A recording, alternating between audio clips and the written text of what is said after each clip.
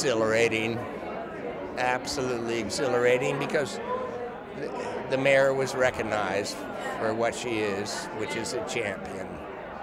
It's the best night, the best organization in racing, the Cartier Awards. So for me, I've been here many times and I've won a few, and it's always something very special, very, very special.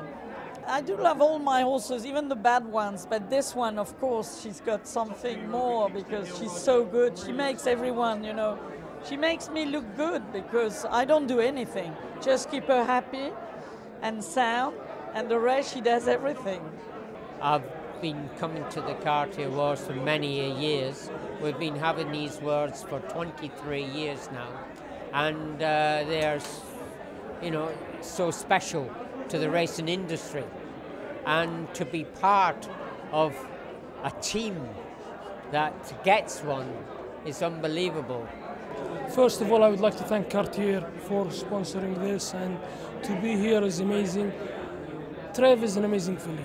She's magnificent.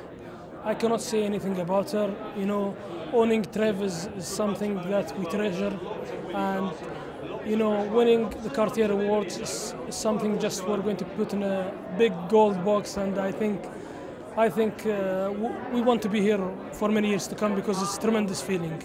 Sure, it's wonderful, you know, when when uh, uh, an event as prestigious as the Cartier Awards uh, recognises any owner, trainer, or jockey uh, as as any of the categories here tonight. Uh, but to get the Hall of Fame is very special, even if it is a little premature.